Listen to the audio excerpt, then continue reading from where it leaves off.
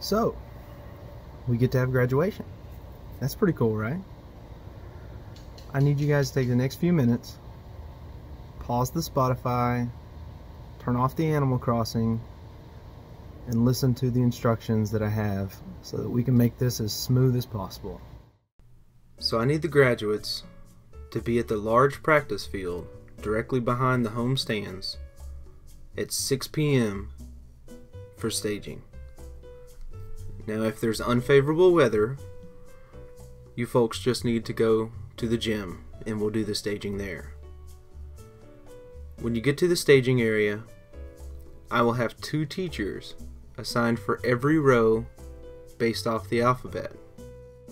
Once you find your alphabetical row, it'll be as easy as follow the leader, and I know you guys can do that.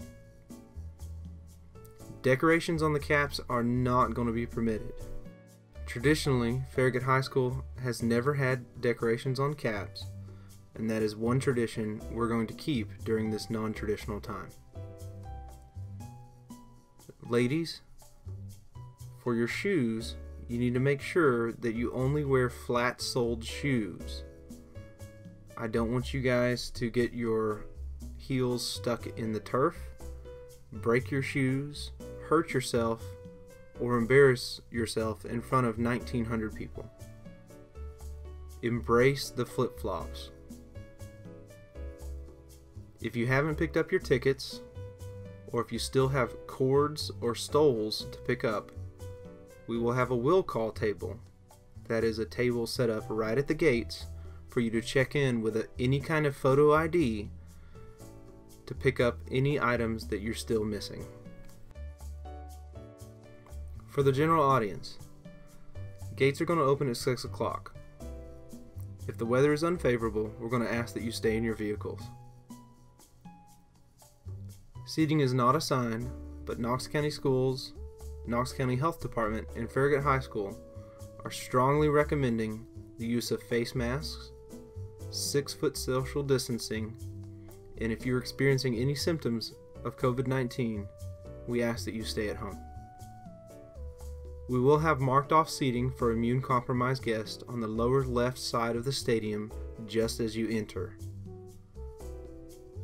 The only persons allowed on the field will be graduates and faculty and security. We will have limited concessions, including bottled water, available until 7 p.m. If you're not able to make it to the ceremony, the ceremony will be live streamed at www.knoxgrads.com.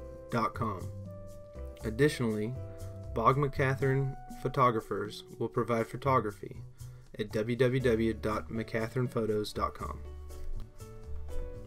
Now let's talk about the graduation ceremony itself. There will be 16 rows of students, and two rows of students will enter the stadium at the same time. To start, it will be rows 1 and 7. They will enter the stadium, walk down to the field, and go to their assigned rows. Following that will be rows 2 and 8. Following that will be rows 3 and 9, and so on and so forth until we've filled up the entire stadium. At that point, we get to have our ceremony. It's peanut butter jelly time!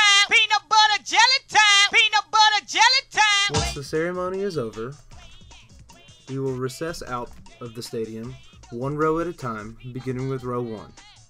This is going to be very important because in the visitors section where we'll be exiting, that will be where you will get your diplomas you will go to your table based off the alphabet to pick up your diplomas.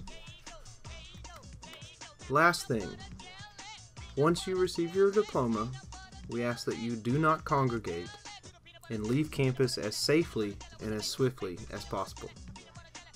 Thank you.